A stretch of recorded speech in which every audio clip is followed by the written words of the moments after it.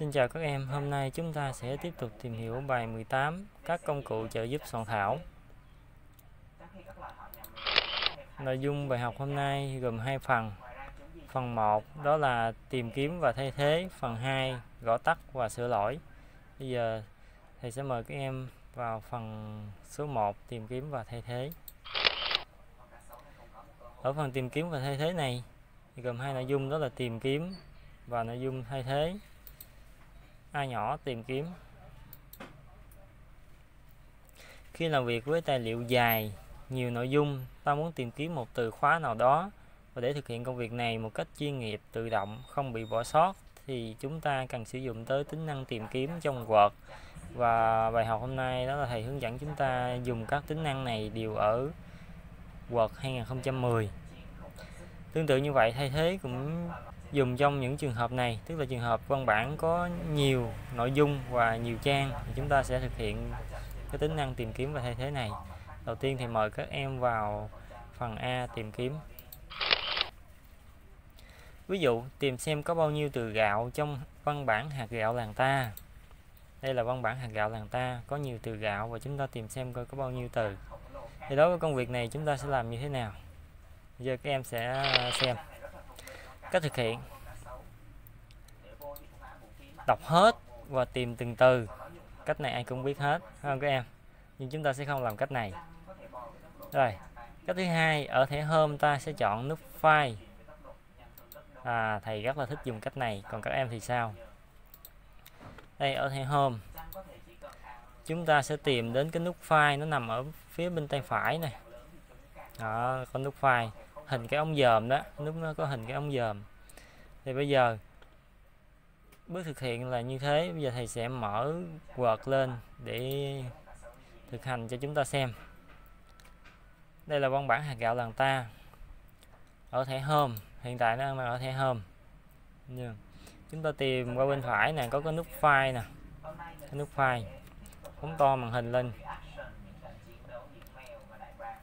Đây, nút file hình cái ống dòm ừ. rồi, chúng ta bấm vào. Chúng ta bấm vào nút file. Thì trên màn hình làm việc cuối Word sẽ có một cái ô cho chúng ta gõ cụm từ tìm kiếm vào. Bây giờ thầy sẽ gõ từ gạo. Có dấu nặng. Rồi, thì lúc này Word sẽ tô nền vàng cho chúng ta những cái từ mà tìm thấy. Lúc này chúng ta thấy được là 5 từ, đúng không? Còn cái tiêu đề thì nó có thể bỏ qua cái tiêu đề. Thì cái tiêu đề mình nhìn vào là mình thấy rồi. Nội dung bên dưới thì tìm cho mình hết những cái từ gạo. Đó, thì chúng ta thấy công việc tìm kiếm rất là dễ dàng và chuyên nghiệp, phải không các em? Bây giờ chúng ta tiếp tục tìm hiểu phần B, đó là thay thế. Những trường hợp cần thay thế, ví dụ như chúng ta gõ sai rồi thay thế thành từ đúng hoặc là có những cái điều chỉnh nào đó cho phù hợp thì chúng ta sẽ dùng cách thay thế. Rồi, ví dụ hãy thay thế từ HC thành HT trong văn bản. Đây, ví dụ như cái ờ, văn bản này từ H là người ta dùng là chữ C, tức là sai chính tả không các em? Đó là chữ T mới đúng. Thì chúng ta sẽ tìm kiếm và thay thế. Lúc này chúng ta sẽ làm cách nào đó để thay thế được. Cách thực hiện đọc hết rồi xóa từ sai, sau đó gõ lại. Và cách này, nếu như trường hợp văn bản có nhiều trang thì chúng ta làm rất là lâu, thậm chí là có thể bị bỏ sót những từ sai. Về cách thứ hai, ở thẻ home, ta sẽ chọn nút relay. Đây, nút relay đây. À và cách này rất là hay hả các em. Bây giờ chúng ta sẽ xem. Đây, ở thẻ home. Ở dưới nút file này có nút relay nè. Chúng ta chọn vào nút relay. Được chưa? Rồi bây giờ chúng ta sẽ xem thầy thực hiện như thế nào. Đây, từ hát, đây, thì cố tình đánh sai chính tả để chúng ta thực hành. Là từ hát. Đây, tô màu nền vàng lên cho chúng ta dễ xem. Bây giờ ở thẻ home, chúng ta vào đây. Chúng ta chọn tiếp relay. Rồi, trong cái ô file watt này, tức là chúng ta sẽ gõ cụm từ cần tìm vào. Ví dụ mình tìm từ hát là từ c, tức là cái từ mình cần tìm là từ sai đó, sai chính tả. Và ở cái ô relay with này chúng ta sẽ có cái từ hát chúng ta gõ từ hát tức là đúng chính tả. Ở các cái nút này, nút cancel là mình sẽ tắt cái hộp thoại này. Nút finance là nút tìm tiếp. Nút relay on là thay thế tất cả. Nút relay là thay thế. Và nút more là sẽ mở ra nhiều tính năng hơn rồi, nếu như mình không có tìm hiểu thêm thì bấm vào nút này để cho nó đóng. Rồi, chúng ta bấm vào nút finance, nó sẽ tìm. Đây, tìm thấy. Rồi, nếu chúng ta muốn thay thế thì bấm vào relay. Còn muốn thay thế tất cả luôn thì sẽ bấm vào relay on nhé các em. Thì bấm vào relay. Đây, thay thế, phải không? Tiếp tục nó sẽ tìm thấy được một từ nữa. Rồi, chúng ta bấm vào relay. Rồi, trường hợp, nếu đã tìm xong rồi, kết thúc rồi, nó sẽ hiện lên một cái bảng thông báo. Chúng ta bấm ok rồi bấm close để tắt. Rồi đó là thầy đã thực hành xong cái phần thay thế cho chúng ta xem. Rất dễ không các em? Rồi chúng ta tiếp tục. Đến phần 2 của bài đó là nội dung gõ tắt và sửa lỗi. Sửa lỗi tự động sửa lỗi chính tả khi người dùng đang gõ văn bản. À, đang gõ văn bản mà người ta gõ sai đó bấm dấu cách ra thì tự động cái từ sai thành từ đúng. Cái tính năng rất là hay. Gõ tắt gõ vài ký tự rồi tự động hiện lên từ dài. Những cái ký tự mà lặp đi lặp lại nhiều lần thì chúng ta sẽ dùng cái cách này. Ví dụ như từ hạt gạo làng ta, trong bài hạt gạo làng ta nó được lặp đi lặp lại nhiều lần thì chúng ta sẽ thiết đặt cái tính năng này để để cho cái công việc gõ của chúng ta được thuận tiện, nhanh chóng. Rồi, bây giờ chúng ta xem hình ảnh ha. Rồi, ví dụ từ, chúng ta chỉ cần gõ từ h và từ g thì nó sẽ nhảy ra cụm từ hạt gạo làm ta đầy đủ. Hoặc là nếu như cái từ hi trong tiếng Anh đó, từ hi là như thế này he. Chúng ta thiết đặt đó là ai mà gõ h g e bấm dấu cách. Tức là từ này không có nghĩa không các em hge là không có nghĩa bấm dấu cách thì tự động sẽ nhảy thành từ hi hoặc là từ cuối cùng đi từ đờ. Từ đờ là the rồi, chúng ta thiết đặt là nếu như người gõ văn bản là hte là từ này là từ không có nghĩa, bấm dấu cách thì nó sẽ nhảy ra từ đờ hoặc là những cái từ khác. Mà chúng ta thấy nè, himself, have, his his. Đó, chúng ta có thể thiết đặt để khi người gõ gõ sai, Word sẽ nhảy ra từ đúng cho chúng ta. Rồi, cách thực hiện như sau.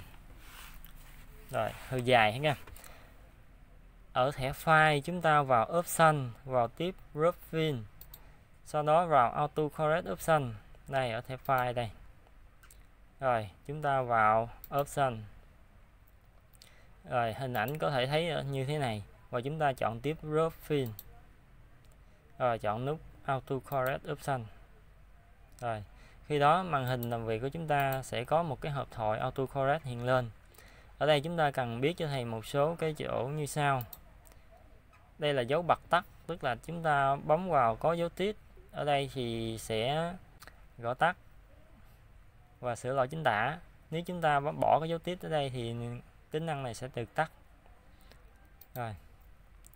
Trong cái ô này, ô relay này chúng ta sẽ gõ cụm từ gõ tắt vào hoặc là gõ cụm từ mà người ta gõ sai vào. Trong cái ô with này thì chúng ta cần gõ cụm từ đầy đủ vào hoặc là gõ cụm từ đúng. Đây, những cái danh sách nằm bên dưới này. Sau đó chúng ta nháy vào nút nút S đây, các cái thao tác thì để hướng dẫn xong nó rất là dễ không các em?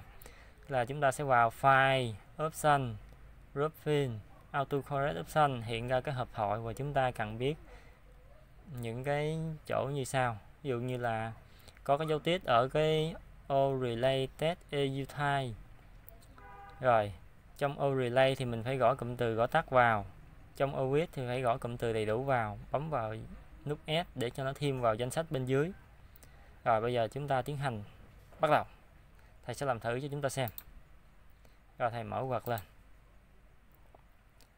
Rồi chúng ta lên. Rồi, theo cú pháp chúng ta học đó là file option. Grouping auto correct option. Rồi, cái dấu tít ở đây là có hiện lên, phải không?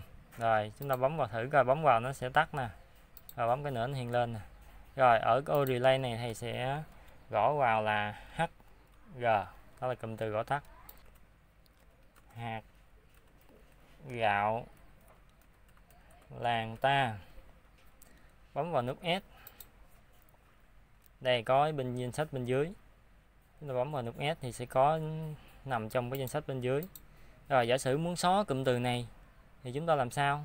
Chọn đó chọn cụm từ cần xóa rồi cái nút delete nó hiện lên là mình bấm vào delete là sẽ xóa rồi bây giờ đồng ý thì mình sẽ bấm vào ok.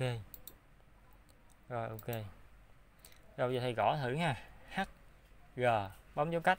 Đó, nhảy ra đây, gạo làng ta. H, g, bấm enter, cũng nhảy ra luôn. Thấy không? Thì đây là một cái tính năng rất là hay trong Word cho chúng ta rồi, bây giờ trở lại tiếp tục nội dung của bài. Rồi, nội dung bài học thầy đã hướng dẫn qua cho chúng ta hai nội dung, đó là tìm kiếm và thay thế gọi tắt và sửa lỗi. Khi cần, chúng ta sẽ dùng những cái tính năng này. Những cái tính năng này giúp chúng ta soạn thảo văn bản một cách chuyên nghiệp. Bây giờ thầy có một, có ba câu hỏi cho chúng ta. Câu hỏi đầu tiên, để tìm kiếm trong Word 2010 ta dùng cách nào? A là chọn Home, File.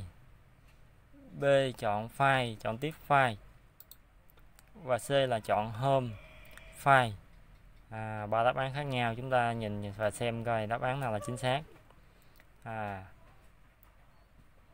theo thầy thì đó là đáp án C là đáp án chính xác. Chúng ta vào thẻ Home và File cái nút File này các em. À, ở trên đây là chủ yếu là thầy làm cho chúng ta gói thôi. Rồi câu hỏi thứ hai để thay thế trong Word 2010 ta dùng cách nào? Chọn Home Relay. Chọn File Relay. Hay là chọn Home File? Lúc này đáp án C á, đáp án C là Home File. Thì mình đã biết rồi, đó là để tìm kiếm. Vậy thì cái nút Relay đó nó cũng nó nằm ở bên dưới cái nút File nè. Thì chúng ta cũng vào thẻ Home và chọn Relay. Thì thầy sẽ chọn đáp án A các em đáp án A.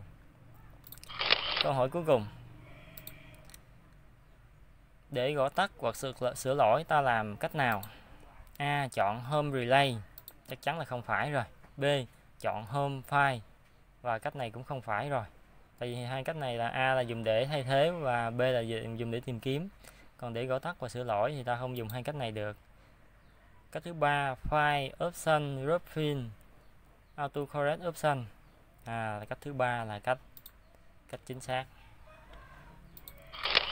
rồi, chúng ta kết thúc bài học ở đây. Ngắn gọn thôi các em. Chào các em, chúc các em có nhiều sức khỏe.